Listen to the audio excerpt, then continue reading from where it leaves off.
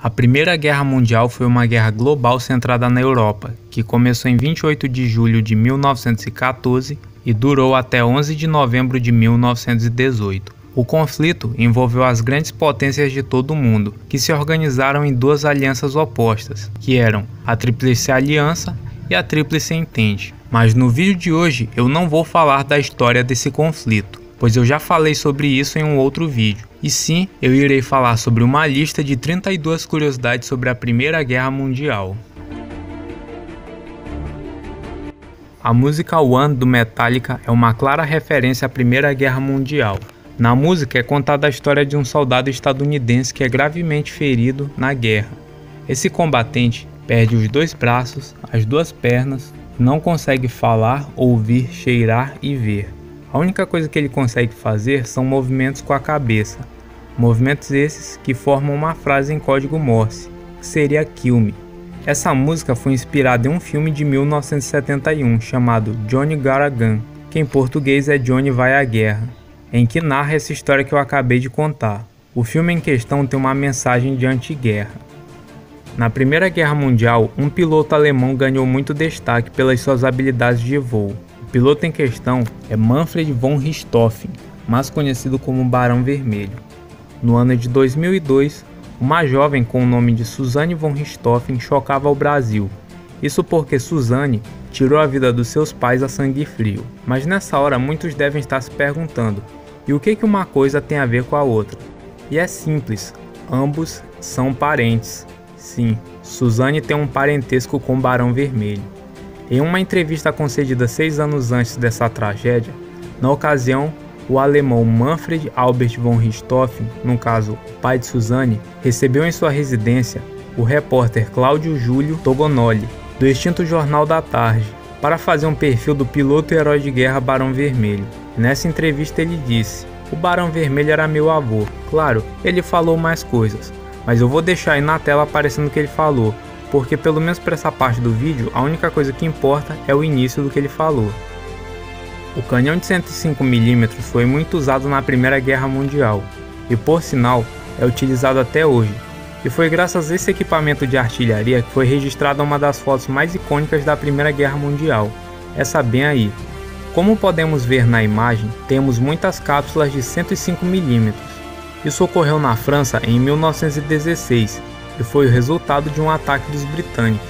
Segundo um cálculo, existem cerca de 3 mil cápsulas só aí nessa imagem.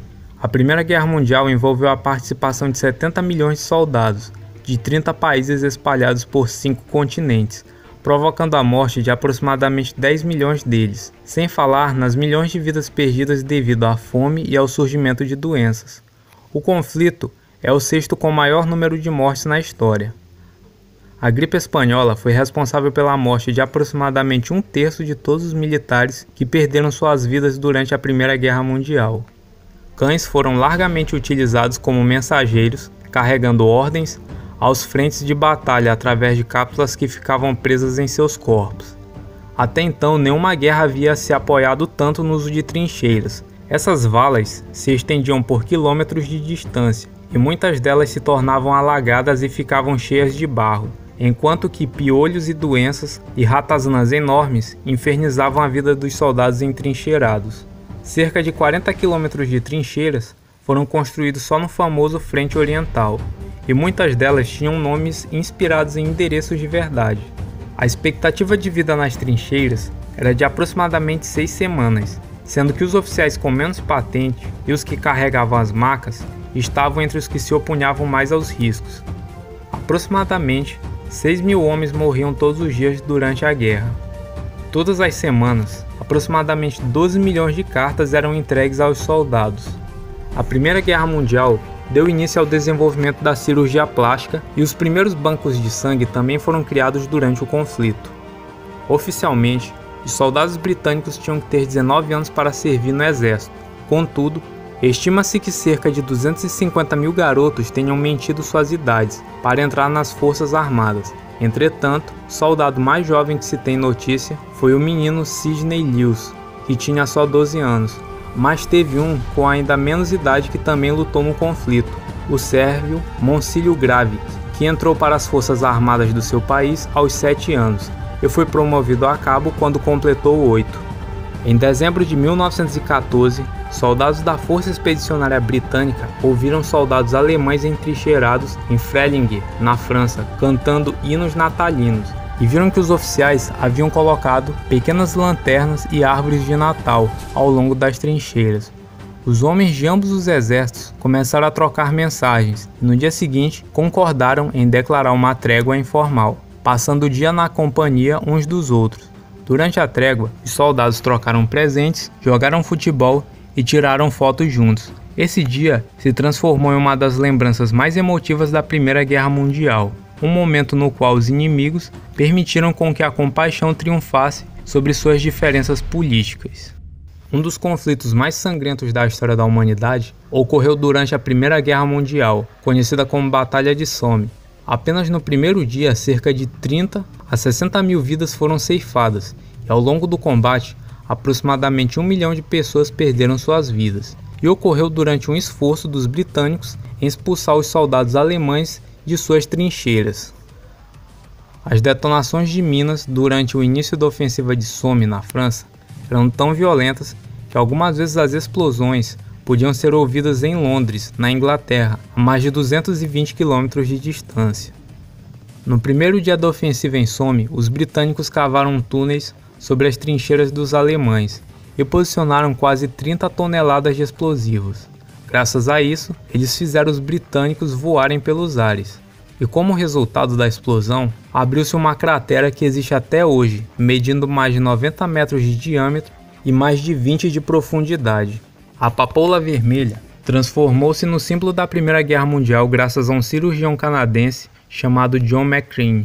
O médico escreveu um triste poema em homenagem a um amigo que morreu durante o conflito, e nele McCrane menciona as papoulas vermelhas como sangue dos campos de Flanders, na Bélgica.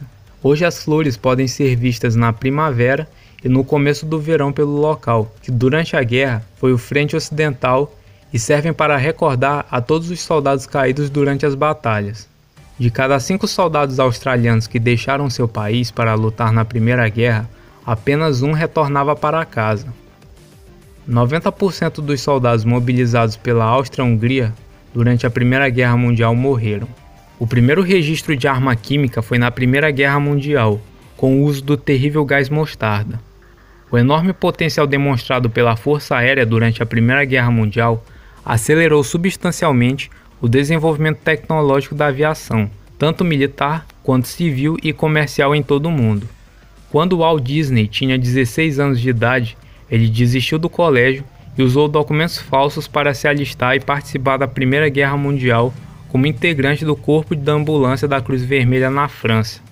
Durante o conflito, um grupo de soldados russos e alemães concordou em declarar um cessar-fogo temporário para que os soldados pudessem lutar contra um ataque de lobos. Na Primeira Guerra Mundial, era muito comum os soldados frequentarem os bordéis, e muitos países forneciam camisinhas para os seus militares, com o intuito de evitar a proliferação de DSTs. Entretanto, os Estados Unidos não quis fornecer preservativos para os seus soldados, e o resultado foi que aproximadamente 400 mil soldados retornaram para casa com algum tipo de DST. O veterano dos Estados Unidos, que mais recebeu condecorações por sua participação na Primeira Guerra Mundial, não era norte-americano.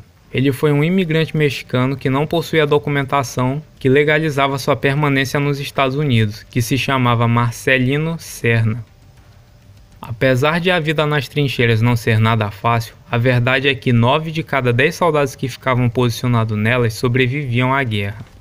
O rei da Bélgica, Alberto I liderou o exército de seu país pessoalmente durante a Primeira Guerra Mundial. Aliás, enquanto o monarca lutava, a rainha Isabel da Baviera atuou como enfermeira e o príncipe Leopoldo III participou como soldado raso no 12º Regimento Belga. Foi apenas depois do fim da Primeira Guerra Mundial que a Polônia, Lituânia, Finlândia e Estônia emergiram como nações independentes. Na Primeira Guerra Mundial surgiram muitas armas, Entretanto, tinha uma que chamava bastante atenção pelo seu tamanho. O nome dessa arma é colibri, que era muito minúscula. O seu nome vem de um passarinho com o mesmo nome. No período da Primeira Guerra Mundial, houve alguns snipers, mas eu posso citar o nome de apenas dois, que são Billy Singh, um australiano que fez 300 baixas, e Francis Pega Magadabal, canadense que gerou 378 baixas. Esse aqui é mais um vídeo que chega ao final. Não se esqueça de deixar seu like e inscrever-se no canal. Críticas e sugestões, deixe nos comentários. Aproveite e assista outros vídeos do Mente Fora do Cubo. Até a próxima e fiquem com Deus.